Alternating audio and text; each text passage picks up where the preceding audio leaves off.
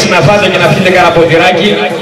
Ο Γιάννης Ιάκος με όλα αυτά και τα όργανα που έχει θα σας κρατήσει συντροφιά. Και ξεκινάμε με το ελεφαντόδομο. Πάμε Γιάννη.